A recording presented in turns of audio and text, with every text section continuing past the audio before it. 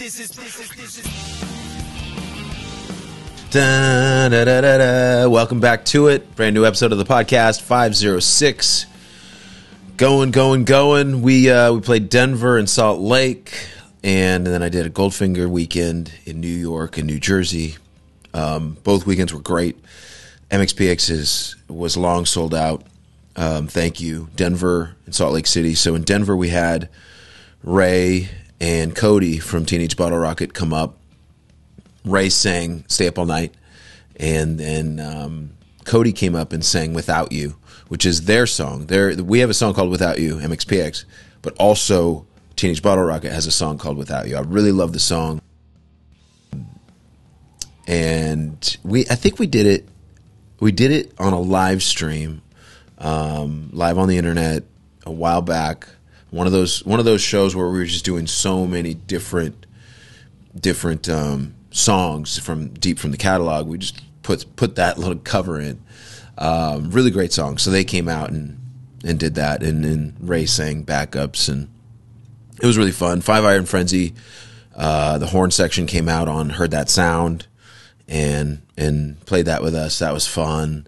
Um, just it was just a great show. The Ogden Theater was packed. Um, no complaints really. It was a beautiful day. You could see the looked in the right direction, and um, it was uh, you know downtown Denver, Colorado. Um, people are cool. Um, just stay stay out of the off the wrong streets or whatever. But like everybody was cool with us. You know, I got yelled at. I, I was I was. Uh, I don't know what I was doing. I was like next to a car. This guy yelled at me because his his neighbor his, his apartment building was like right next to where I was standing, and he didn't like me blocking the driveway. I'm like, if somebody comes, I'm gonna move. like it's what's the problem? Like you're you're good. He he uh he wasn't having it though. Um anyway, uh it was a great show. It was amazing. Uh we had a blast. And um and then a, a pretty late night as usual uh, after shows. Um and then we we went to Salt Lake City early morning, super early. Got there. Um, we wanted, you know, it was snowing when we got there, so we wanted to make sure we got there in case there was any weather related issues, and there wasn't. It, it really didn't affect too much. Um, but our guest was late. She actually didn't even make it to sound check because her flight came in a little late from Los Angeles.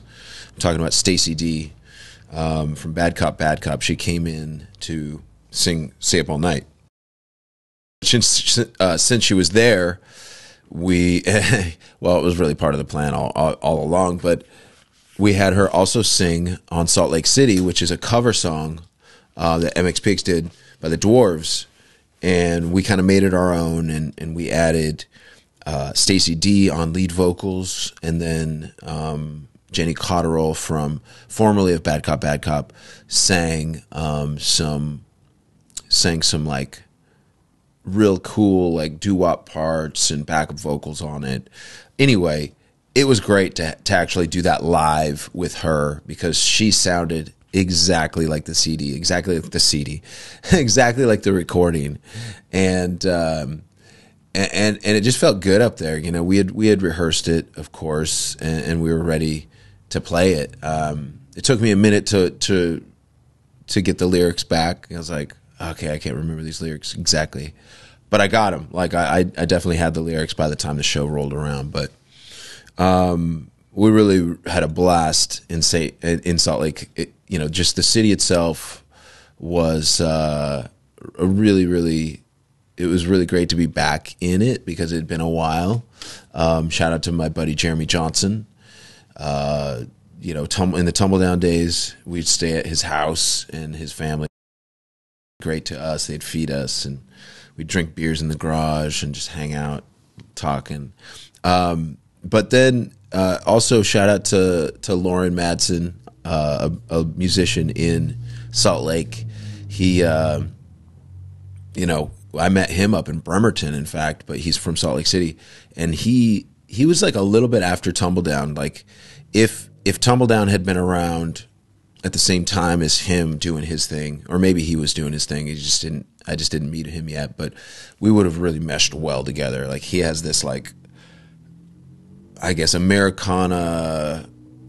Um, I don't know, like it's it's like an alt country kind of thing, um, but it's it has that punk style that that um, vagabond kind of vibe to it. Um, his voice is real low and gravelly, so different than mine. Mine's much much more. Um, I, I guess it's much more clean and um, mid tone and I don't know what people would describe my voice as because I think the way I hear my voice is different than the way the way people hear it because I'm hearing my voice inside my head as I'm as I'm talking and I can hear this this reverberance inside, right? Well, when you don't have that to go on, that's when things that's why things sound thin sometimes. So um I don't know if you've ever if people listening have ever you know, a lot of people have probably have listening. They've recorded their own voice, but if you haven't recorded your own voice, I strongly recommend just do it. Just like you know, you, you pro- people nowadays record videos of themselves all the time, right? Like you, you have not all the time, maybe, but like sometimes you're on video and you're talking about, hey, I'm on vacation. Here we are. We're in Mexico. We're in Palm Springs. We're whatever. Uh, we're in Thailand. Um, I I wonder what you think about your voice. Does it sound weird? Because back when we first started, when I when I started recording myself and, and recording songs and, and, and you know just I started writing songs. This was like before MXPX, before the band, everything. Just literally trying to learn my instrument, trying to write songs two song parts, do, or two part songs. Do do do do do do do do do do do do do do. There's one part. Da da da da da da da da da da da da. There's a second part. There's a song. So uh, that's the way I wrote songs back in the day. But hearing my voice early on was always really unsettling. I did not like the sound of it. It was thin. It was nasally. It was not what I liked. And and and I think it's gotten better. I feel better about my voice these days. Uh, I don't feel self conscious at all about it. Like I, I, can sing. I can, you know, I'm not necessarily Adele, but I can sing. I can do some things, right? I, I can sing my songs fairly well, and um, and I think that's the whole point. Is you should really try as a songwriter. Um, try to do and, and this can apply to other things uh, rather than songwriting but like when you're writing songs write something that you know that you feel in your heart you feel in your body you feel you feel good about you feel like i can sing this this feels good to sing like that's literally how i wrote this last album find a way home was i was writing parts that felt good to sing so if you listen to uh, mistakes will be made. Those lyrics, uh, they're little vignettes. They're not necessarily like a whole story that fits together all in one. It's meant to be more like, okay, here's a little memory I have. Here's a little thing that's happened. Here's a little thing that could happen. Here's a thought that I had, you know, and they, you know, all pieced together into this song, Mistakes Will Be Made. But uh, a lot of how I wrote those lyrics was just how it felt good to sing, and a lot of how I wrote that song was just how it felt. We choose to be who we are in some ways, in some ways we don't. In some ways we have a little, you know, that part. If unless you have to really, really dissect it to get some meaning from it, but it does mean it does make sense when you really think about the succession of words that I'm saying if you just follow it logically. But as a song and an art piece, I'm not really thinking of that. I'm thinking of how does this sound to the, to sing? How are these words? How are these how are these sounds of these words? Not the meaning of the words so much. And and they do have meaning. I'm not saying they don't, but we choose to be who we are in some ways, in some ways we don't. I mean, that's a classic, like, you know, we're all born. We don't choose to be born.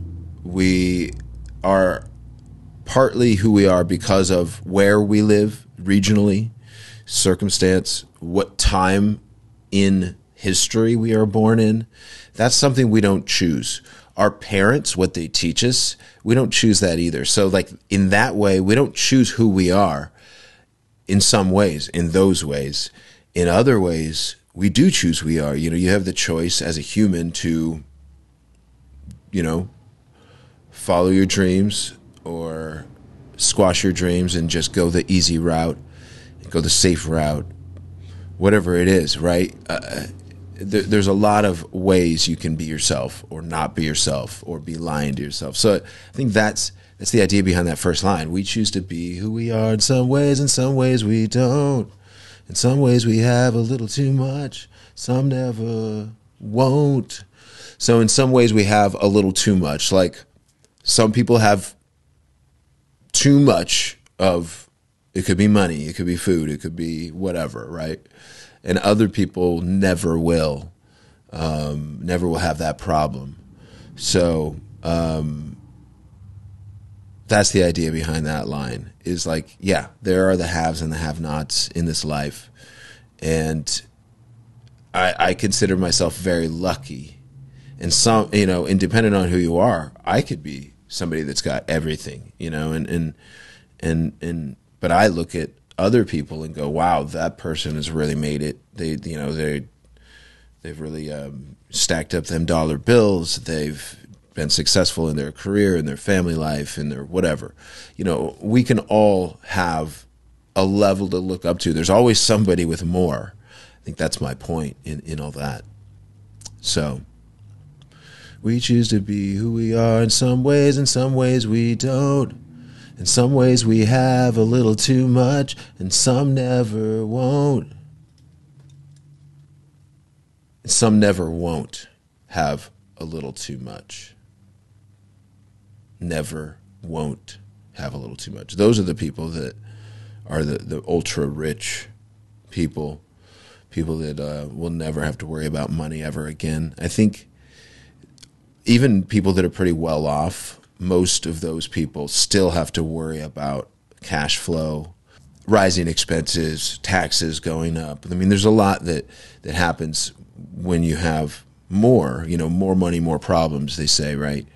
So I imagine somebody that's like a billionaire or even, you know, multimillionaire that's, you know, a lot of expenses that need to be thought of that I can't even think of. Um, but you know, on my own level, you know, there's the studio, there's the constant upgrade that we have to do with the studio, live streaming, microphones, cables, uh, new console, switcher, internet fees. Um, the list goes on and on, and we're just we're a pretty modest, I would say, mom and pop business. We do well, but we also can't necessarily stop working. We have to we have to keep keep it rolling, but that's the thing is like the momentum of what we do as as musicians, as artists. The momentum is what really works. It what what is what makes things work. And you know when we when we see the fruits of our labor uh, come back, that's when it, it gives us that like nod that okay, you're going in the right direction um, my video is freaking out. So what I'm going to do is I'm going to just turn this around and film this.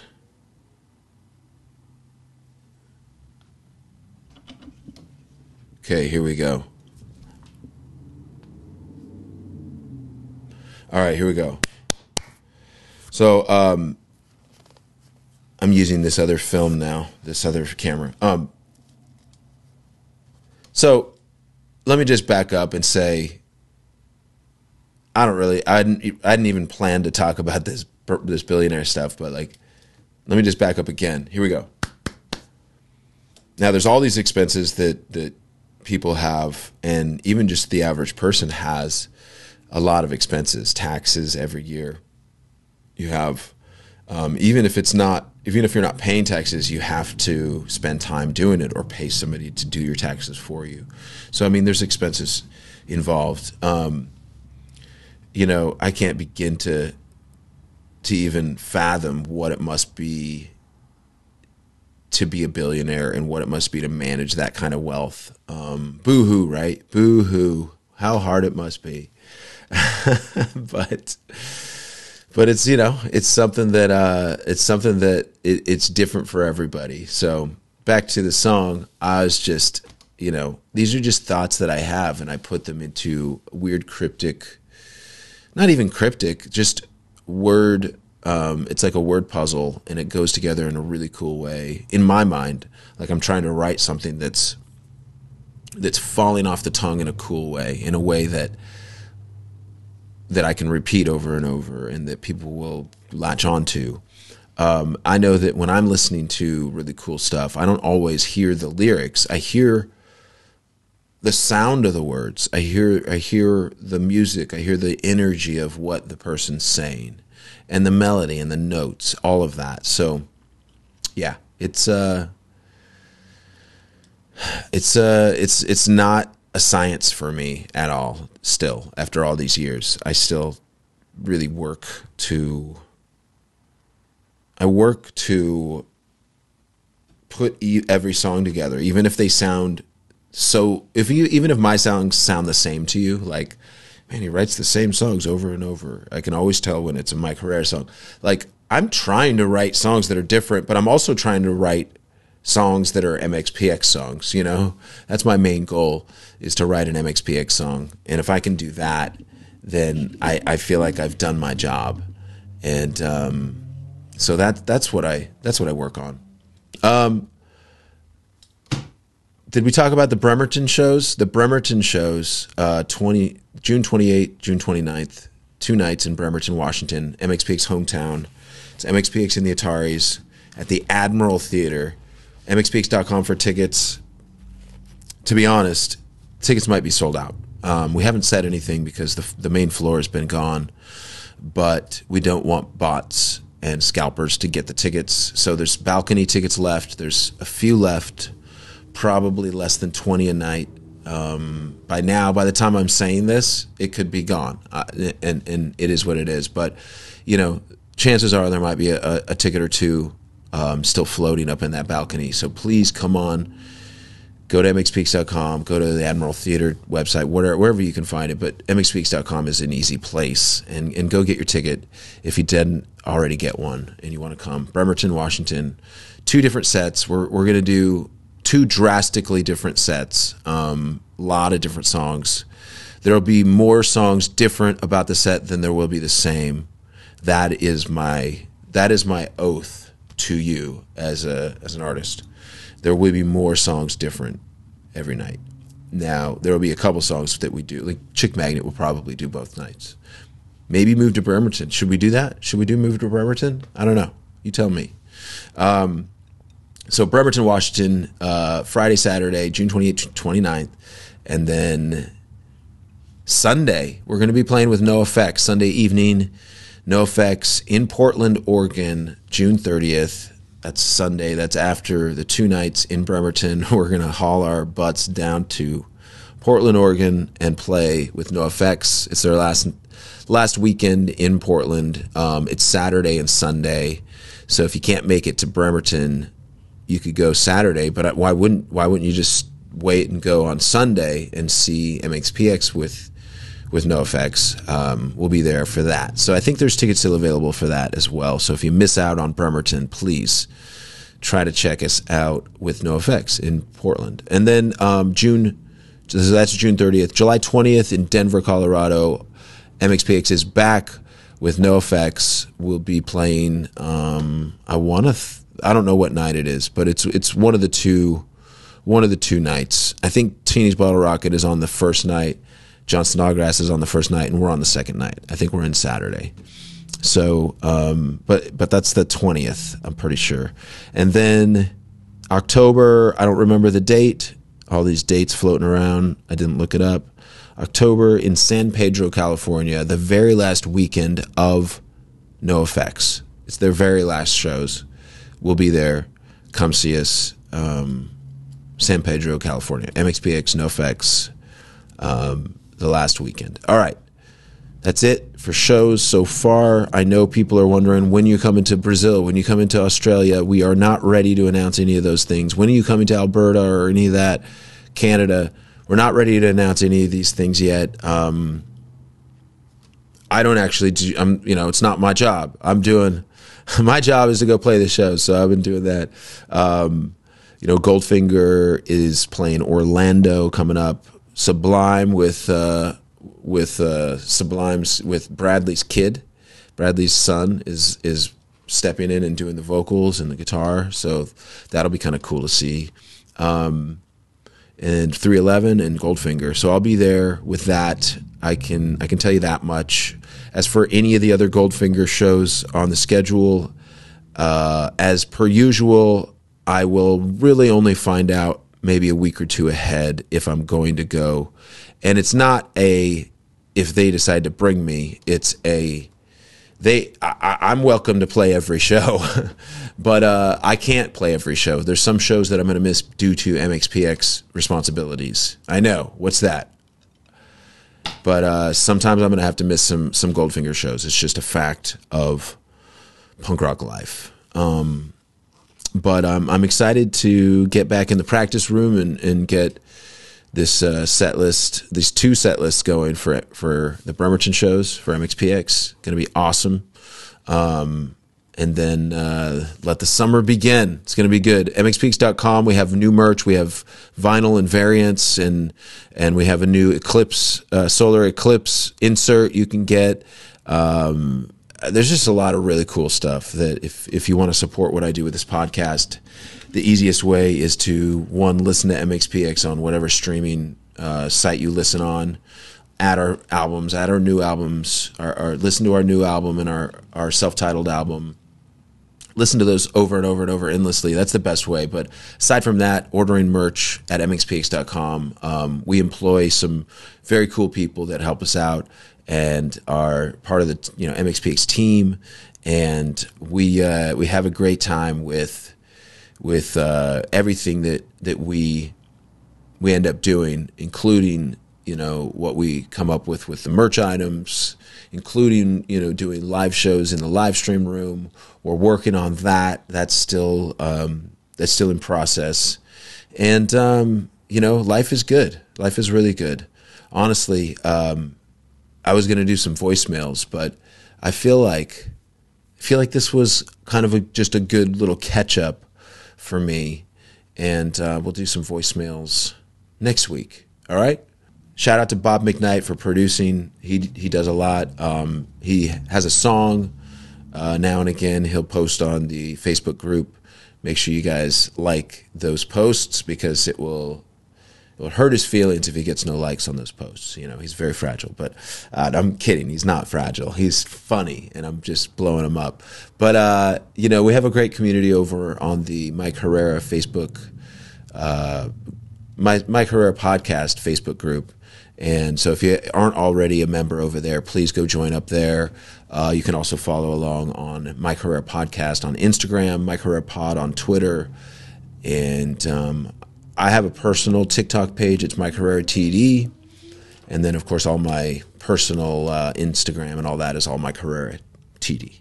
I can't even say my name at this point, but um, it's been a crazy day. The guys are coming over. We're going to practice.